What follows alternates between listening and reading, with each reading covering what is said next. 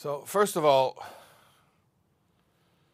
I just want to acknowledge that Baruch Hashem, those who are here present with us in actual physical space, you've joined us at the Levi Yitzchak Library, which is a, uh, a thriving center of uh, early childhood education. It's a lending library. Uh, it's a center of the community right here on Central Avenue in Cedarhurst in the Five Towns, which is run by Chabad of the Five Towns. And the Levi Yitzchok Library is named for a young man whose yahrzeit was just observed this Shabbos, Levi Yitzchok ben Yibodel L'chaim Meruchim Rav Shner Zalman. And this event is in conjunction with the yahrzeit. And we want to encourage everybody to do your part by pledging your mitzvahs at mitzvahsforlevi.com. Mitzvahsforlevi.com. And uh, hopefully, also throughout tonight's lecture, you'll understand just how meaningful that is. So, uh, tonight's lecture has an anachronistic title. You know what I mean? Anachronistic. It's, uh, it's an anachronism, but I'm repeating myself. An anachronism is something that uh, is out of time, meaning it's not in the right time. So uh, I came up with the title Making Your Soul's Mixtape. And then I started getting feedback and people were like, what's a mixtape? That's so outdated. That's so old. So I actually, I, I discussed it with my daughter, my 20 year old daughter, Tybal, who does basically is my right hand man, right hand woman. She runs all the, the back end of everything on SoulWords. So I said, they're, they're telling me it's very outdated. Should I call it making it your um, MP3 playlist? And she, as a good 20 year old should do, she rolled her eyes. She said, That's even worse. so I said, Well, I don't know what they call it now. I don't. I don't know what the kids call it nowadays, but when we were kids, we called it a mixtape. That's what we called it, okay? So, whatever it's really called, please forgive me, and I hope there's some type of analog to this in 2022. Um, yeah. So, yeah. To, to understand the soul's mixtape, I want to I want to start with uh, with a big question, which is probably the biggest philosophical question and scientific question that remains at least in the secular world, in the philosophical world, in the scientific world, that remains unresolved. And that is what is the origin of consciousness? Where does consciousness as a phenomenon emerge from?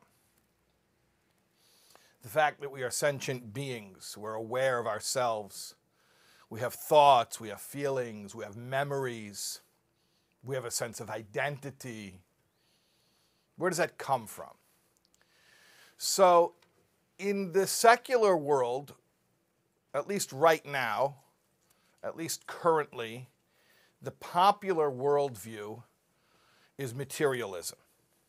Materialism is pretty much, um, in various different iterations, the prevailing secular worldview. And that means materialism, not to be confused with conspicuous consumption, which is a perhaps a behavioral outcome of values that are based on nothing more than materialism. Uh, but materialism itself is, is simply the assertion that everything that is real is material. If it exists, it is physical. It's a physical thing. And there's nothing other than physical existence. So then, the question that is posed to the materialists is where does consciousness come from? Um, if we're to believe that consciousness is simply the result of chemical reactions in a bunch of cells or tissue called the brain, then we have to ask, you know, how does that happen? That a, a, a, glob of cells produce this otherworldly, intangible, unobservable thing called called consciousness. And, and when did it occur? Exactly when in the narrative did matter become conscious? At what point did a thing form some identity? The ability to, to refer to itself, the ability to think of itself. Now, obviously, from a Torah point of view, this is not a question at all, because from a Torah point of view, we would say quite the opposite that consciousness is not a product of matter, but matter is a product of consciousness. There was divine consciousness. And from, from divine consciousness, from, from the divine thought, emerged creation, including the physical plane as we know it. Which is, uh, at least in terms of answering this question, the, the Torah model is an easier model to accept. It brings up other questions, but uh, it's easier to understand that matter emerged from consciousness than consciousness emerged from matter. And if we do understand that consciousness predated matter, that there was awareness before there were things, and that the brain does not create consciousness, but rather is, let's say, an antenna which is receptive to consciousness, then uh, it's also very easy to understand that the consciousness that makes me me and makes you you is not inextricably linked at all to our bodies.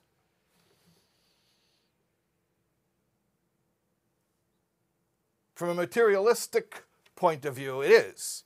Once brain function ceases, this dream or this myth called consciousness disappears.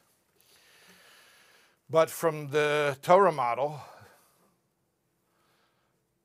consciousness existed long before the formation of the body. Consciousness will continue to exist after the, cessa- the cessation of the, of the functioning of the body.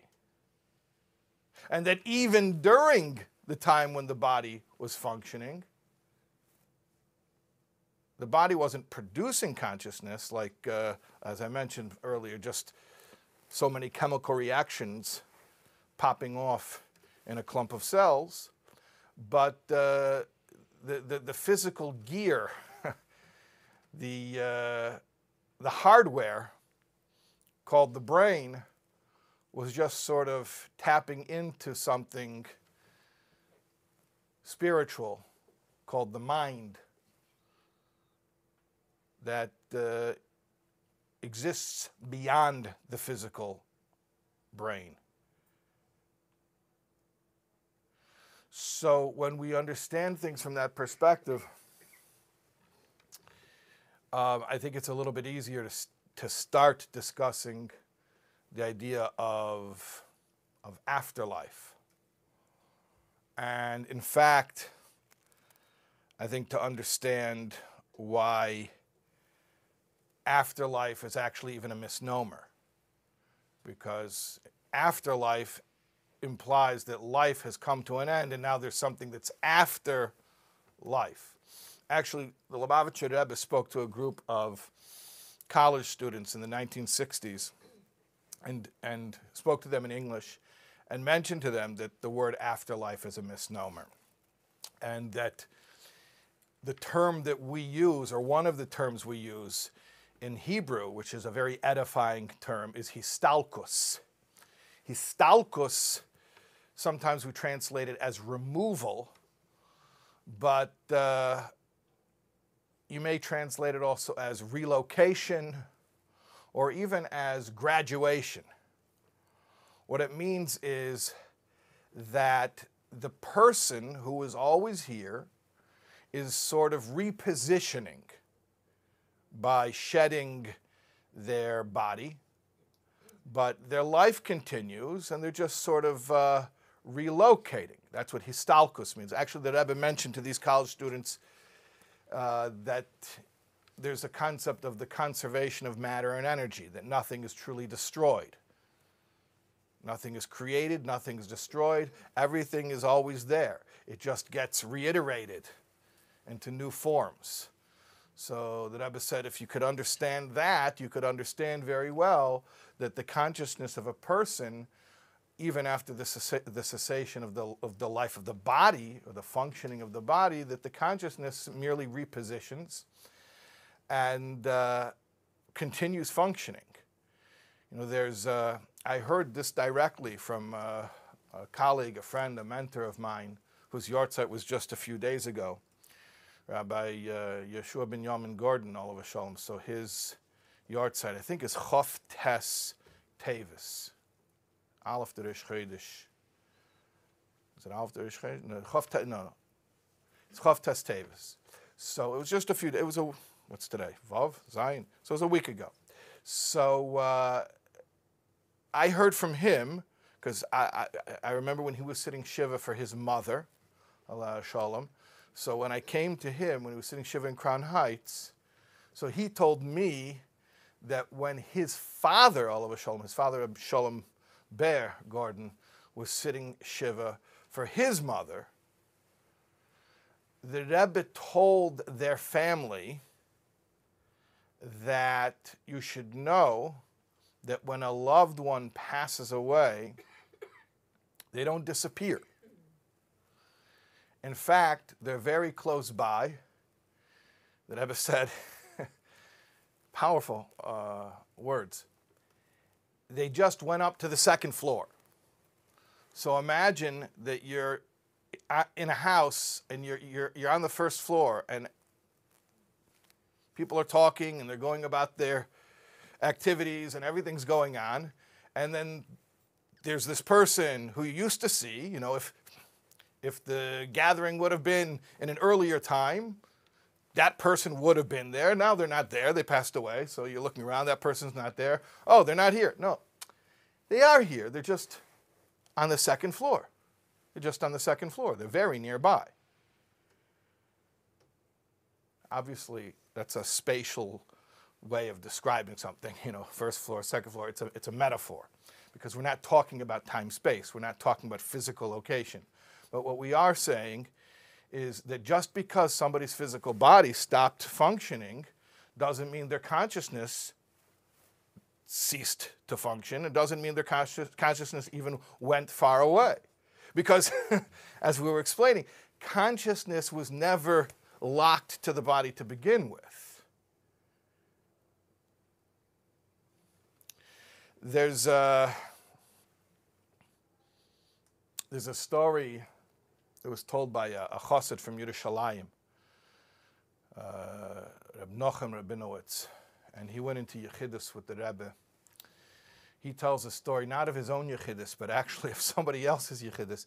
He was waiting to go into a personal audience with the Rebbe, and uh, he saw this guy waiting his turn, and the guy looked very troubled. And he could tell by looking at him that he was a wealthy man. He looked sort of aristocratic, but that he looked very, very troubled. So this, this chassid from Yerushalayim noticed this, this wealthy man who looked very, uh, very disturbed. And uh, he noticed him going into Yechidus and he noticed him coming out. And when this, this gentleman, the wealthy man who looked very disturbed, came out of Yechidus, he looked completely elated.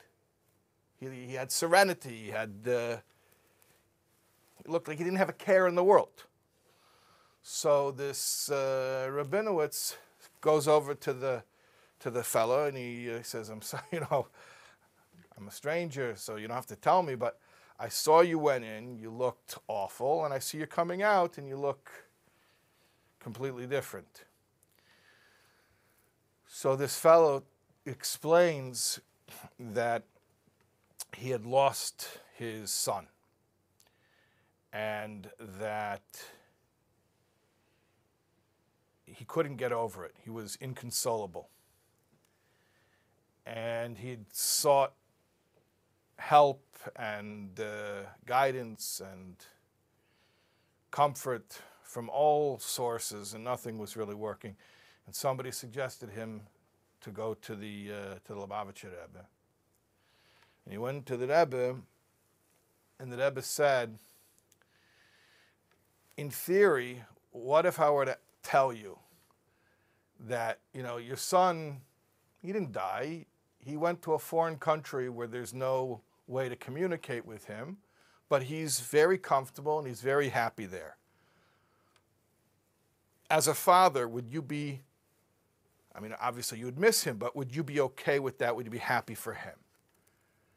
And he said, Yeah, you're telling me my son is happy. He's doing well. I mean, obviously, I, I wish I could communicate with him, but, you know, if he's doing well, then yeah, I'm happy. And the Rebbe said, And now, what if I told you that actually you can communicate with him, except it's only one direction? You can't hear from him but he can hear from you. How? You can send him packages.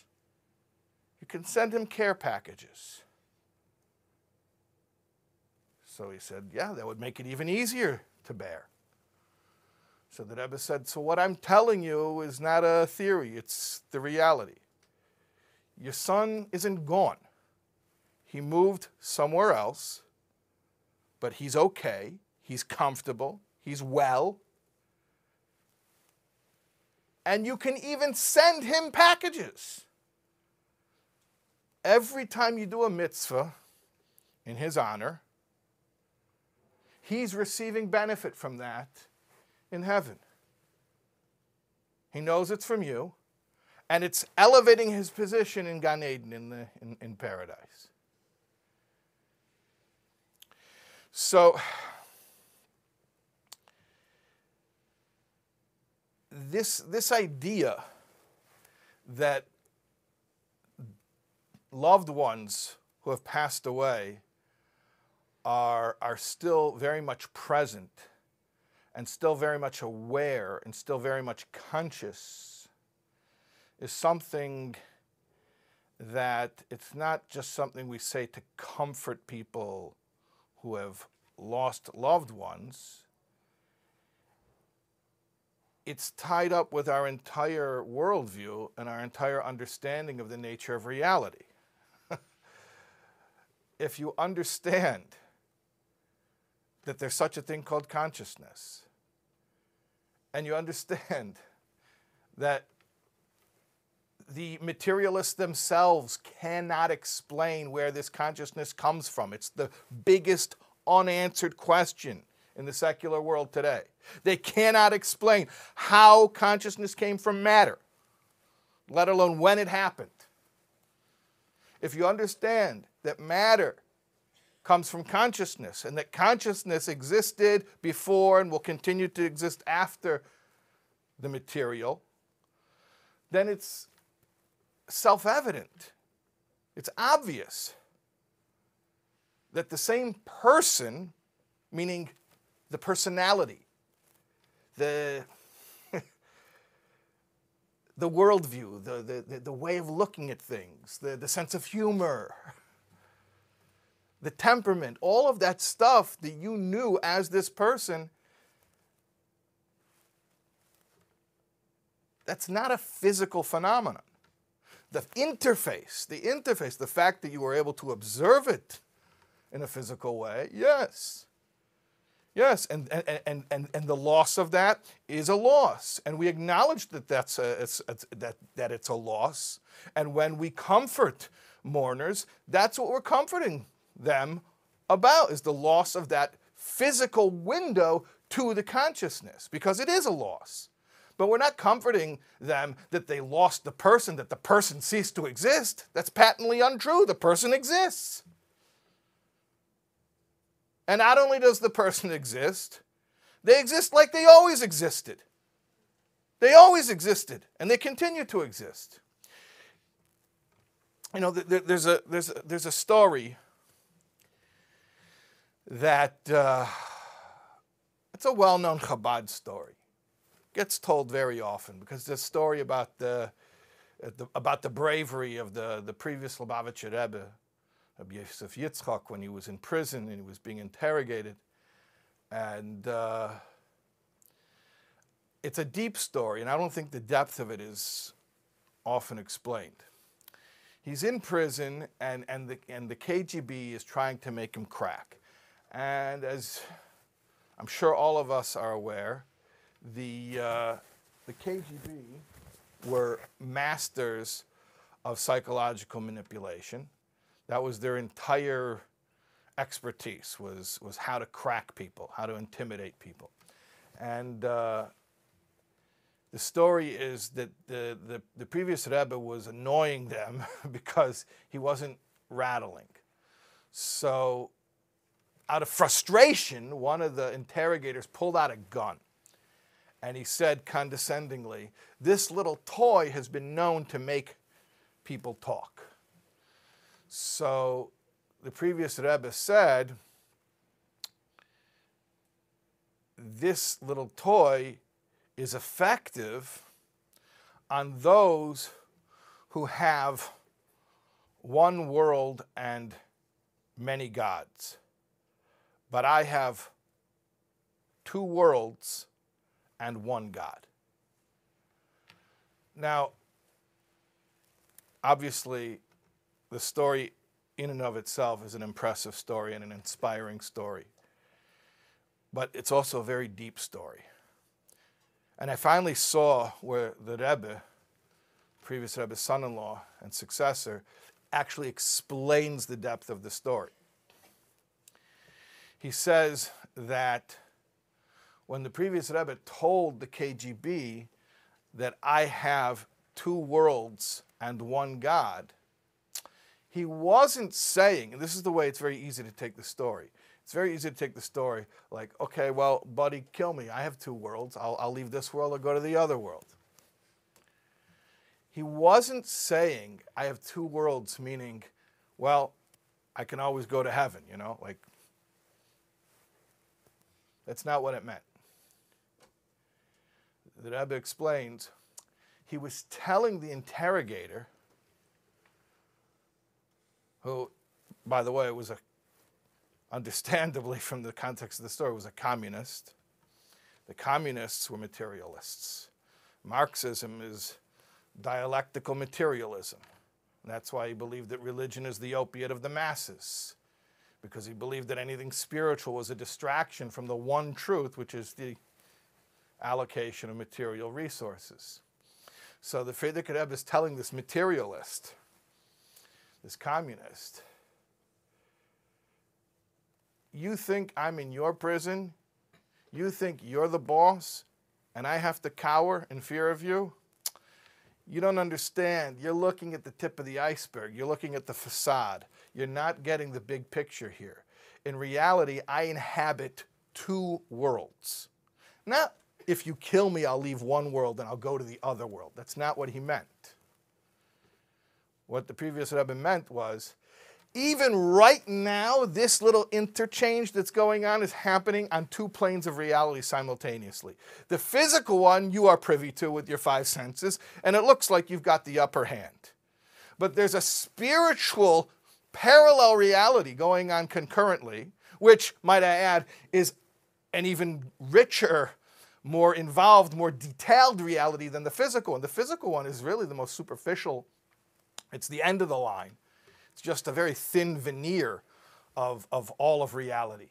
But there are two worlds. Right now, he, he, didn't, he didn't mean I'm going to go from this world to another world. He meant right now things are happening on two planes. There's the, there's the physical, which is, like I said, the tip of the iceberg. And then there's the spiritual, which is the much greater depth. And they're happening right now, at this moment. Everything's happening in two worlds. So here's the point I'm trying to impress upon you. It's not like people pass away and then they go to another world everything we've ever experienced, even while we're experiencing embodiment, is also taking place in the spiritual worlds. We just don't pay attention to it because when you are embodied, the physical stimuli are so intense that it distracts us from being sensitive to the spiritual reality that we are currently inhabiting. We are currently inhabiting more than one plane of reality. But the spiritual becomes covered up. It's like trying to hear a speakerphone in the next room over while there's a loud, wild party going on in this room. So the spiritual would be like a speakerphone in the other room, and then the physical stimuli of this world would be like the wild, loud party going on right here in this room. What happens, though, when there's the cessation of the function of the physical body, and it's no longer reading five senses, the five physical senses seeing, hearing, smell, taste, touch so now it's like all that static, all that distraction, all that um, noise is finally canceled out.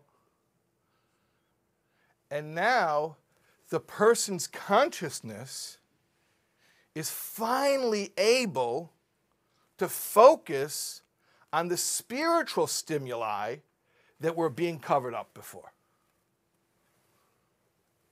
In fact, if we could describe what passing on from the physical world is for the one that it's happening to, it could probably fairly aptly be described as a, a refinement of consciousness, losing stimuli which are noise and being able to focus in on stimuli which are meaningful. And so ultimately, what happens is that the soul experiences profound pleasure in Gan Eden, that's the way we refer to paradise or heaven. We call it Gan Eden, Garden of Eden. But we're not talking about the physical Garden of Eden that Adam and Eve lived in. We're talking about a spiritual plane. The pleasure that the souls experience in Gan Eden is the pleasure of being able to immerse themselves purely in spiritual stimuli with no distraction anymore with no more noise. This is what the Gemara in Bracha says. Bracha 17a, that there's no eating and drinking in paradise, but rather the souls of the righteous sit with crowns on their head and delight in the ray of the divine presence. What does this mean? The delight in the ray of the divine presence. It means they're finally able to experience unbridled, unfiltered spirituality without distractions. And it's wonderfully blissful.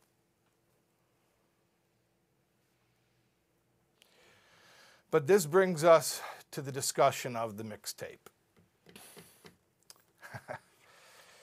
my, my clumsy uh, anachronistic metaphor.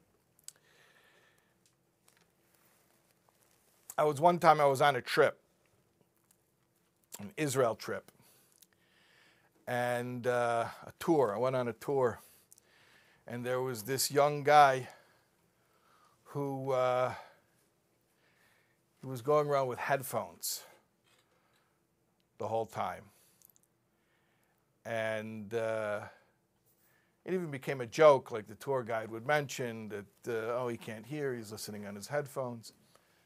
So I, I was interested why he's so into the headphones. And uh, he explained to me that sometimes he'll listen to a song, or he realized that sometimes he'll listen to a song. And when he listens to a song, it'll trigger a flood of memories where he was in his life when he used to listen to that song.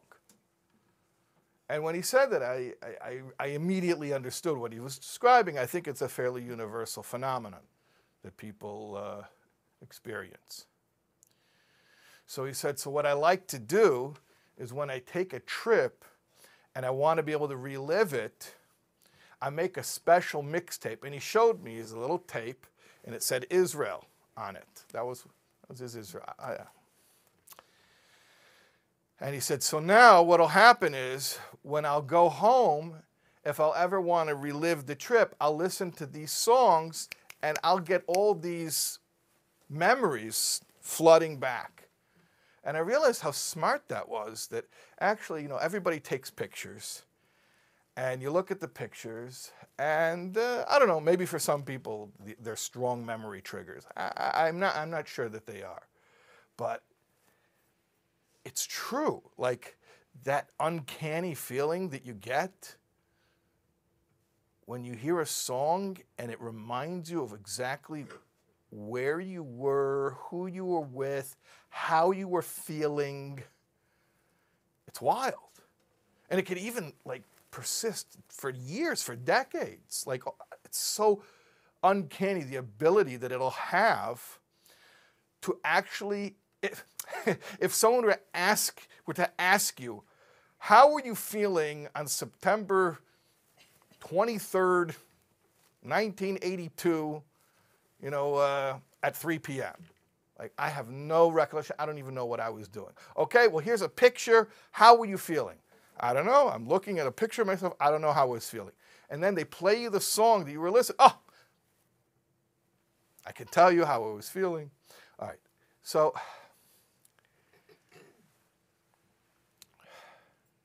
think about your embodiment phase of your existence or your embodiment phase of your consciousness's journey as an opportunity to create a mixtape for a trip that you're going to go on. So you're going to go on a trip, and when you want to have memories to relive, you're going to listen to your, your mixtape. And, and, and here's the thing the the mixtape, um, what, whatever you have, it's all you have. You don't get to add to it. You don't get to add new songs. And you can't fast forward through it. So pick wisely. But whatever you have, that's what you're going to have, and you're going to have it for a long time. Long time isn't even an appropriate way to describe it because uh, it's, a, it's a place that's above time. There is no time. But you're going to go and you're going to re listen to this tape over and over and over again. And every time you re listen, it's going to get more meaningful. It's only going to get more meaningful. The Gemara in Psachim says about uh, heaven. Ashrei ish lekan Fortunate is the man who arrives here, that means in the spiritual realm, vitalmudai biyodai. And he has his learning. Talmudai means learning, Torah study. Biyodai. He arrived in heaven with Torah study. Why? Why is that so important? Why does that make a person fortunate that he arrived in heaven with Torah study? And I'll tell you why. Because once you get to heaven, there's no new Torah study. And Torah study is all they do in heaven. Because remember, they're free from all of the noise. Well, when you get rid of all the noise and you only have truth left, what's the truth? What's the truth? Truth. Truth is Torah, Hashem's truth. So, what do you think when, when, when it says that the souls in heaven are delighting, are basking in rays of godliness? How does that function? What is that? So the Kabbalah explains. The Eitz Chaim, Rav Chaim Vital, that the souls in heaven don't eat or drink, yeah, physically, but they do consume Torah study. That's their food. Torah study is the food, is the delicacy which is served in heaven. But the thing is, it's not new food, it's not new Torah information, it's re listening to your own mixtape. That's not how Rav Chaim Vital says it, but that's how. the Torah that you learned in this lifetime during embodiment is your soul's mixtape. And then you go up there and you re listen.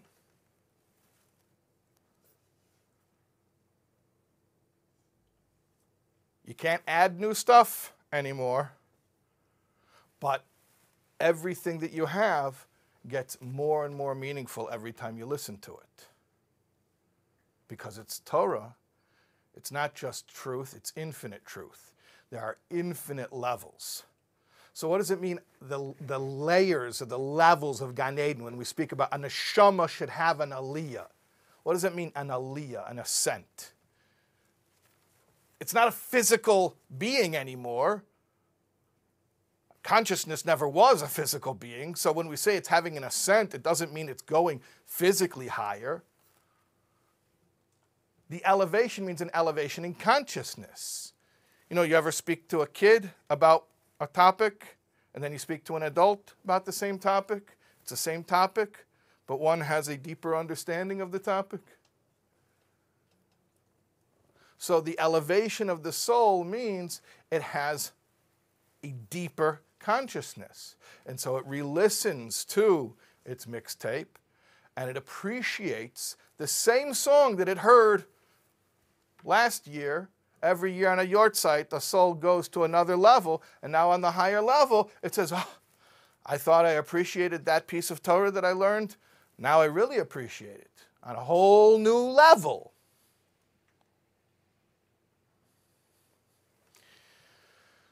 So th- there's a Hayom Yom. You know, Hayom Yom is a sefer of uh, that the, the Lubavitcher Rebbe made of little thoughts, tiny little, like a paragraph. Sometimes it's just a one-liner. So there's, there's a Hayom Yom from the, the date is the 17th of Menachem Av. And it's a very short Hayom Yom, even as Hayom Yoms go. And it says that whatever you study down here in this world, you're going to restudy up there in the higher world. And the Tzemach Tzedek, that's the third Rebbe of Chabad, the grandson of the Baal HaTanya, He says, when a person therefore realizes that that's what happens, so when you learn a halacha, he says specifically a halacha, and you realize that up there you're going to relearn it on an incomparably deeper, more rarefied, more spiritual level. He says this will motivate the person. It will give him a whole new passion in in Limud Torah. He says, it's gitarein a fire. It puts a little fire into him. I think this is one of the things that's most misunderstood. That uh, you know sometimes even people think it's boring to study Jewish law. It's very technical, and I'm not a rabbi. Why do I have to know this stuff? And the reality is that all of Torah operates simultaneously on uh, multiple dimensions. We know there's the pshat, but there's the remez, the drush, the soid. So down here, yeah, we're physical people. Even when we try to learn Kabbalah, Chassidus, the spiritual stuff, it's very abstract for us, and we have to stretch our minds. So we relate more readily to the to the empirical stuff, the stuff that's demonstrable, you know, where you could actually look at it. You know, uh, a cow uh, gores an ox, or ox gores a cow. Those are things that, you know, we know what that looks like. But cows and oxen is, is, is just the, that's just the veneer, that's just the facade, that's just the most superficial level of an infinitely deep truth. Rabbi Adin Steinsaltz, Olav Shalom, he was interviewed, and someone was asking, like, don't you think that when they teach Talmud, they should, uh, you know, like update the examples? Like, you know, the examples in the Talmud, like I said, cows and oxen and whatever. So, uh, so Steinsaltz says that uh, these, these words that the Talmud are using are, are principles, they're ideas. So when you read ox, it's not just an ox, it's talking about deeper legalistic principles like ownership and responsibility, abstractions. You know, ownership and responsibility aren't things, they're ideas. They're not, they're not concrete, they're, they're abstract.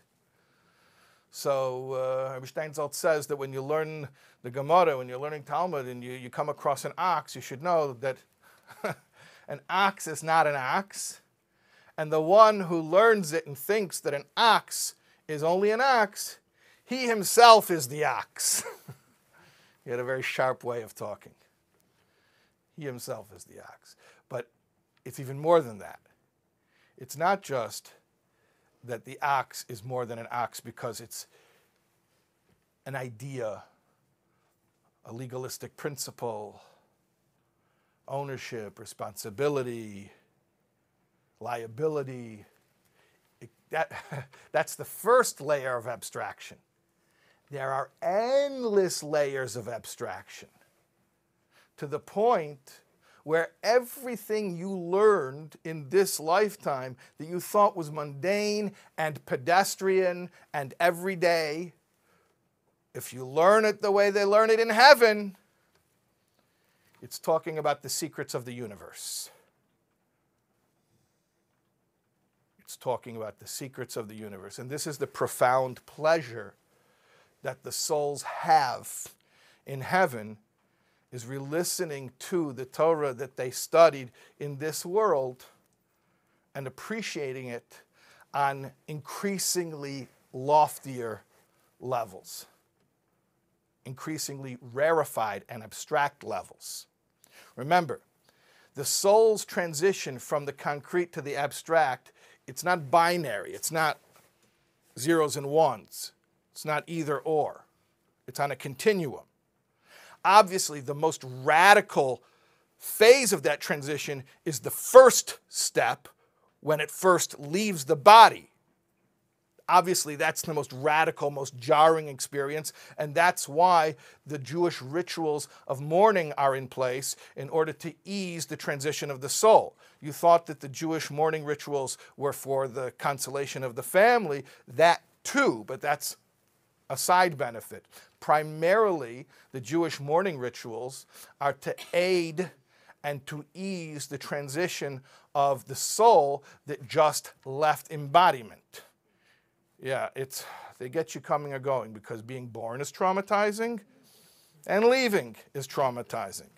That's what the sages say. Against your will you're born, against your will you die. Coming and going is traumatizing, okay?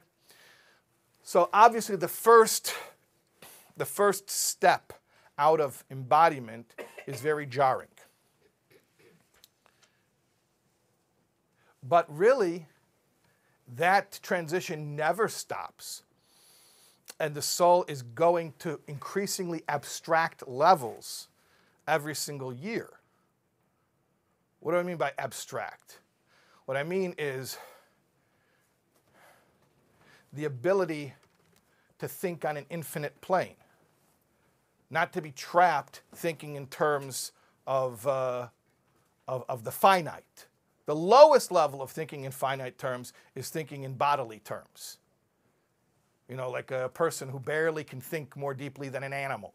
He can think about physical pleasure and how to procure physical pleasure. That's obviously the most low, crass level of concrete thinking. But even within abstract thinking, there are levels.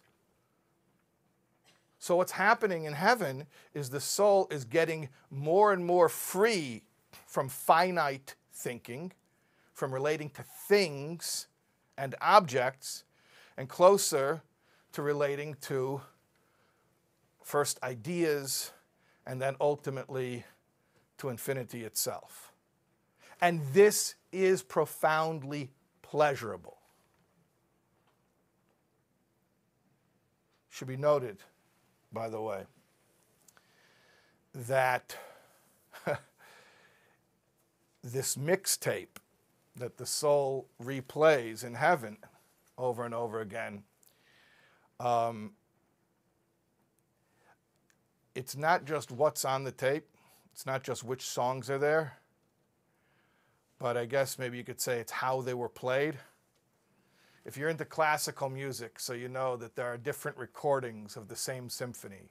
I know a guy has a whole wall in his house of LPs and he showed me his records, and like half of them are the same symphony. But well, this was this conductor, this was that conductor. Oh no, those were the same conductor, but it was at this hall, and this one was at that hall. Okay, so if you're a classical music nerd, you understand that. So there are different ways that the songs get played. So there's a, a beautiful explanation of this in the uh, Michtav MeEliyahu from Rav Dessler and he explains that the degree of toil that you invested into the study will, the flip side of it is that that will be the degree of pleasure that is there for you when you relearn that same subject in heaven. So he says there could be a Talmud Chacham, a scholar who was gifted with a great head, and he never really toiled. So he just showed up to yeshiva, he plunked himself down on the bench, he opened up the big books, and everything went down smooth. So that's good. He's got a lot of songs. I guess he's got the whole stack of tapes. But he didn't have to invest a lot of effort into it. So I guess you could say that's like a, not such a great performance of the song. Then you can have a guy, a regular guy, who uh, Maybe he didn't learn down here on such a deep level. That's okay. Up there, you'll get the depth. You'll get the depth up there. But down here, he toiled. He toiled, and maybe the guy had to make an honest living and support a family. And so maybe he didn't go through all of Shas. And maybe he wasn't even learning a, Gemara. And maybe he couldn't even learn on his own. He sat at the shiur and he listened to the rabbi's class, but he had to focus and it was hard work. So that's a really good recording That's a really good performance of that same song that he gets to re listen to over and over again. Now, for, this, for the sake of full disclosure, lest I be charged once again with sugarcoating and focusing only on the positive, I will talk about negative stuff, albeit briefly, and I will say something, which those who were in Tanya class this morning already heard. So you heard it already, and you will not be further traumatized by hearing a new scary idea because you heard it already this morning at 11. This morning at our Tanya class, we learned chapter, what chapter? Eight. Very good.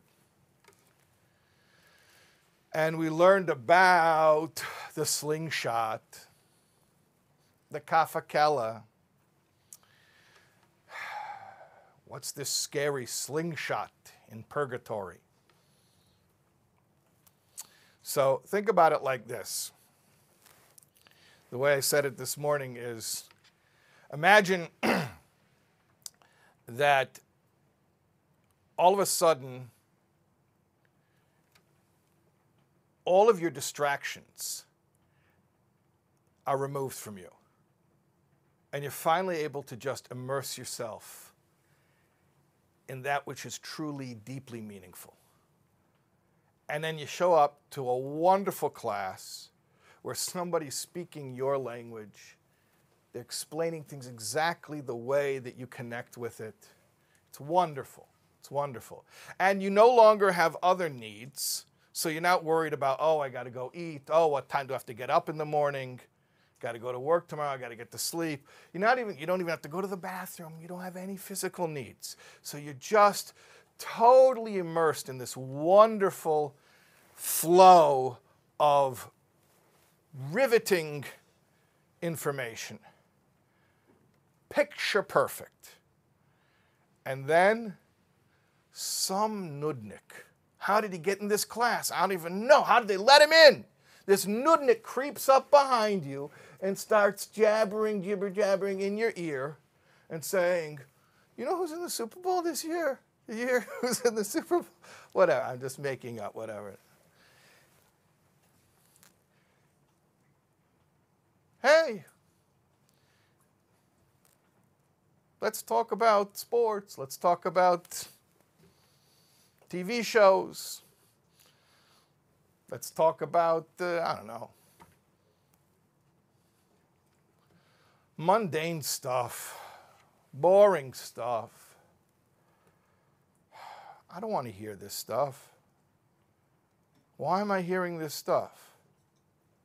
And then you realize, oh, you know who this nudnik is jabbering in my ear? It's me. It's me. I used to like to talk about this stuff. This is a recording of me. So the slingshot really means that now you're unfettered from the body. You don't have any limitations to totally immerse yourself in the truth. And you're settling in and you're getting all connected to real spirituality. And then all of a sudden, you hear this incessant prattling of this ridiculous stuff and it tears your attention away from what you were trying to immerse yourself in, and that's the slingshot. The slingshot is I'm trying to focus and I keep on having my focus pulled away. So uh, you asked this morning, how long does that go on? That sounds like hell. Well, yeah, it is. It is hell. That's one of the things that happens in hell. Purgatory, Gehenna, however you want to translate it. Yeah. How long does that happen? So I said 12 months, but we have a very liberal parole board, so usually it's 11 months. And uh, then the prattling goes away, and then you're free to listen and re listen and re listen and re listen to the recordings that you made.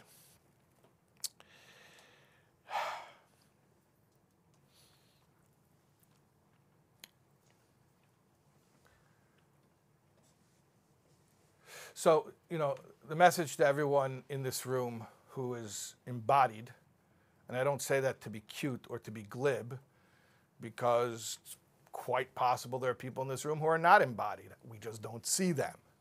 So, I mean, we do know that disembodied people do show up to things.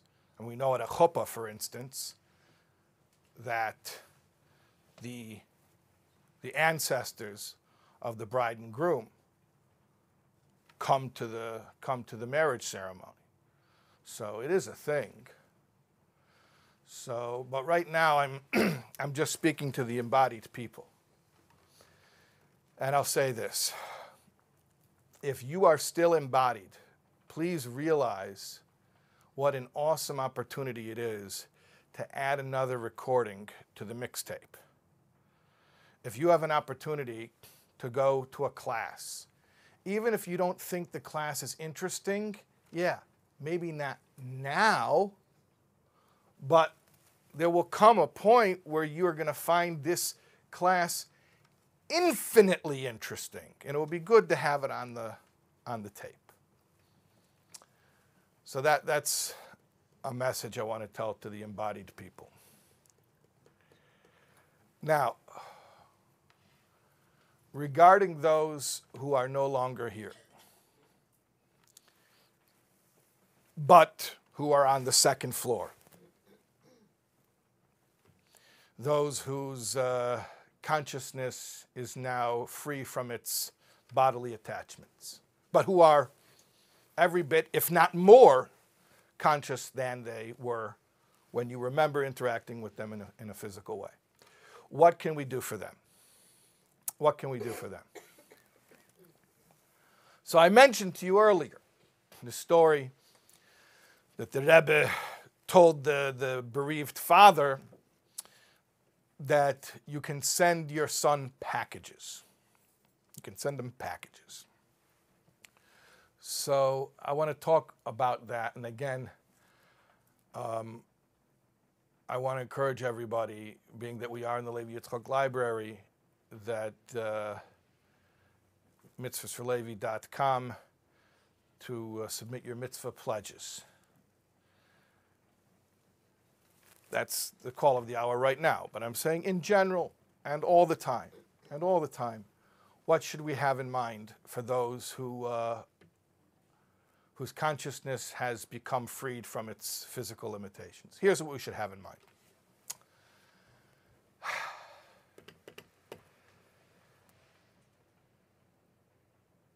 when the Vilna Gaon was on his deathbed, he was passing away, he was crying. And uh, his Talmidim asked why he's crying. He lived such a, a pious life. How could he? Clearly, it wasn't that he was upset that he was le- leaving the physical realm because of any material temptation or you know some bucket list thing. And he clearly wasn't uh, disturbed by the idea of judgment because he'd lived such a pious life. So they asked him why he's crying, and he grabbed, he grabbed his shirt, and he, and he grabbed at the talis koton, the garment under his shirt where you hang the, the tzitzis, the fringes. And, and he said, I'm about to leave a world where for a few kopecks, small coins, you can buy one of these, you know, the, the wool garment the Jewish men wear under their shirt that has the fringes on it. I'm about to leave a world where for a few kopecks you can buy one of these and you can do the will of the Creator. And I'm going to a world where for all the treasures of that world you cannot buy one mitzvah. So there's a, there's a saying of our sages that one minute of good deeds in this world is disproportionately greater than all of the world to come. And conversely, one moment of pleasure in the world to come is disproportionately greater than all of this world. What does that mean? Put the two together. For one small deed that we do in this world, it generates disproportionate pleasure for the soul in the next world. So, we talked about before the food that we eat in heaven is the Torah that we studied. The clothes that we wear in heaven are the mitzvahs that we did while here in a body. But here's the thing we have the ability to send clothing packages to heaven. We can do more mitzvahs in the merit of those who no longer can. Because there's one thing that the embodied souls can now do that the disembodied souls can no longer do, and that is mitzvahs. All mitzvahs require a body.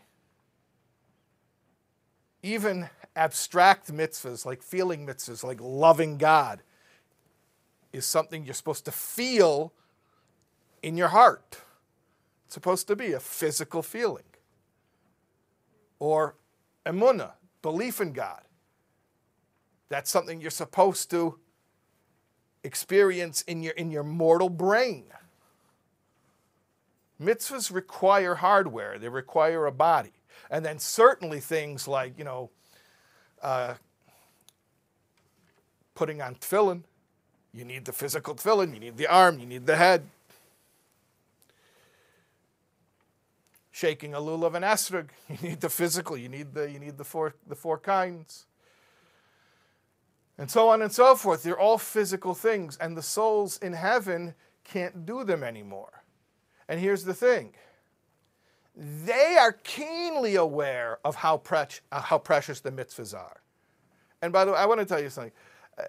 I, I, I've been asked this on more than one occasion. One particular one that I'm thinking of right now, though, is where somebody, I've been asked many times, well, the person who passed away was not religious, and in fact, they, they, they told me they were very happy not being religious and, and, they don't really want anyone to do any mitzvahs and you know you can donate some money to uh, you know a good cause a humanitarian cause but that's it they don't want any mitzvahs and uh, I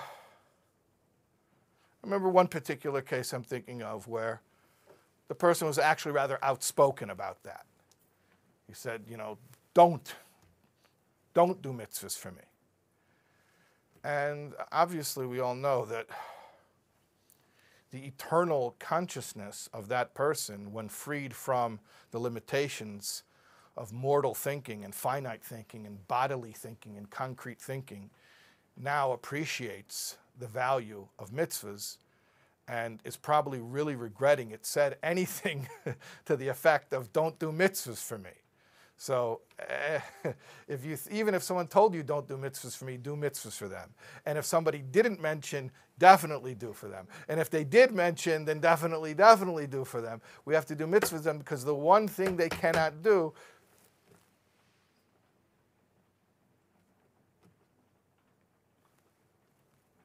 is use their bodies to do God's will.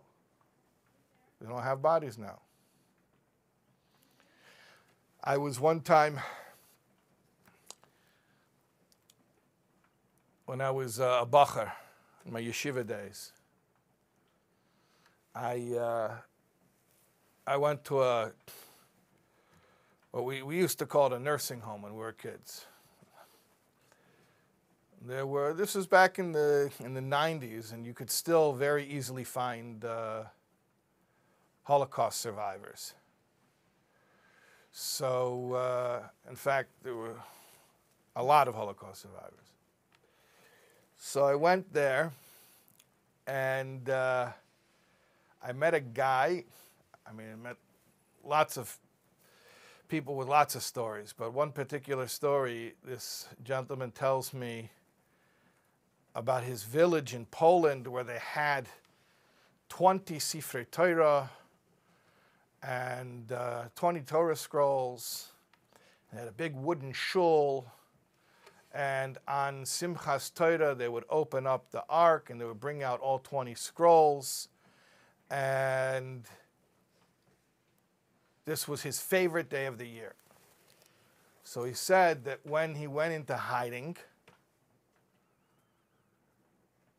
his father told him that I'm not going to see you for a while, but when we meet up again, it was close to the time of the high holidays. So the father said, Soon we'll meet up again. We'll be back in time together. We'll be back for Simchas Torah.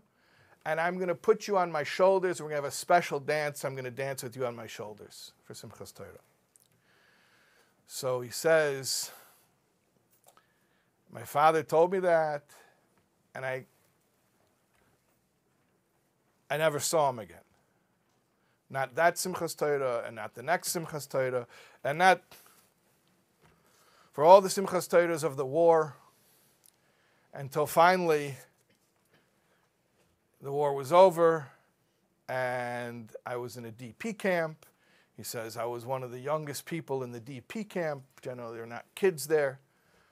And uh, he says, I was, I was a kid and I was alone. I was in a DP camp. And uh, like a week after I arrived, it was Simchas Torah. And I remembered my, my father's promise to me, who I haven't seen in years. And I don't know if I'm ever going to see him. So he says, he, he started dancing. And from the way he told it to me, sounds like he was probably the only one dancing, which is quite understandable. There were not too many people in the DP camp, the first Simchas Torah after the war, who were dancing on Simchas Torah. So he says, I was dancing.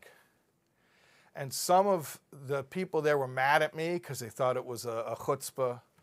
Other people were scared for me because they thought I had lost my mind. So uh, somebody came over and he like gently took me aside and he said, uh, what are you doing? And I told him the story. The last time I saw my father, he said, We're going to get together Simchas Torah as soon as this thing is over. We're going to get together again Simchas Torah. And you're going to dance on my shoulders. So now this thing is over. The war is over. It's Simchas Torah. My father said we're going to get together now.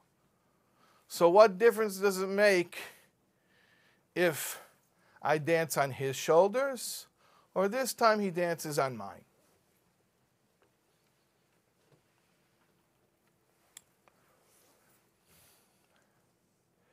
So here's what I'm telling you. Every soul every person whose consciousness you got to know while they were in a body. So they've got everything they ever had when you knew them in their embodied state. And only thing they lost was a bunch of noise, a bunch of distractions. And what they've gained is total clarity and total truth. There's just one thing that they're going to need your partnership for. And that is they need to ride on your shoulders. They need to ride on your shoulders. So when you go and you put on tefillin or you light Shabbos candles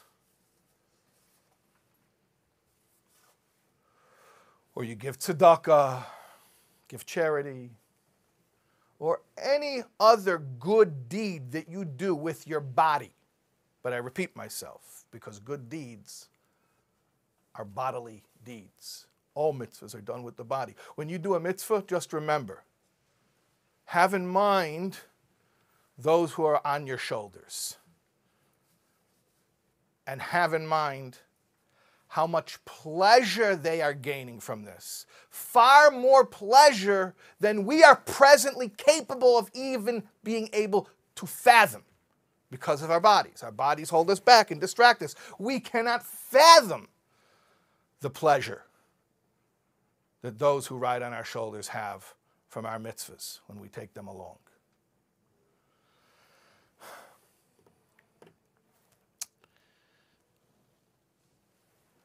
We want to just finish, not as a formality, but as a heartfelt plea to Hashem that He should send Mashiach already, and all, all the souls should be able to come back in their own bodies and do mitzvahs themselves.